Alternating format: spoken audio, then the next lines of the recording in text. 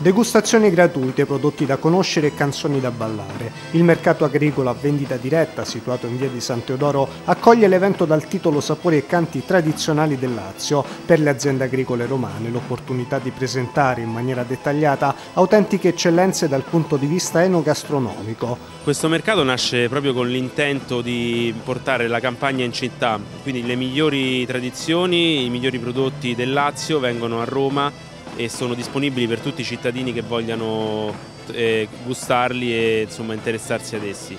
Le aziende agricole che sono state sfruttate fino a poco, pochi anni fa eh, dalla grande distribuzione organizzata, qui invece con la vendita diretta possono realizzare un guadagno eh, sulla base di principi etici, quindi il chilometro zero, la filiera corta, il rispetto dell'ambiente, il del lavoro e questa per loro è una grande occasione di eh, rivincita se vogliamo, anche sociale.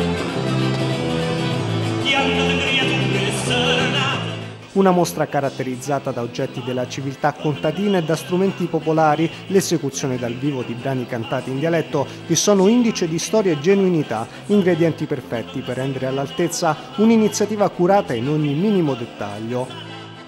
La musica è sempre stata eh, un momento di, per sottolineare la vita del, del contadino, del popolo, de, le, le, stagioni, per cui abbiamo un concerto fatto dai Cantori Interni di Lavoro, che è un gruppo che ho scoperto per caso quest'estate, vengono da Picinisco. Ci sono delle ballate, delle ballarelle molto belle, alcune legate ai tempi della raccolta, alcune ai tempi della vendemmia e altre appunto a ricordare dei personaggi che hanno popolato le vallate lasciando un ricordo indelebile. Profumi e suoni di un tempo ormai come oggi necessari per ricordarci da dove veniamo e di cosa ha veramente bisogno la nostra alimentazione. Se la risposta del pubblico è ottima, tanto vale replicare.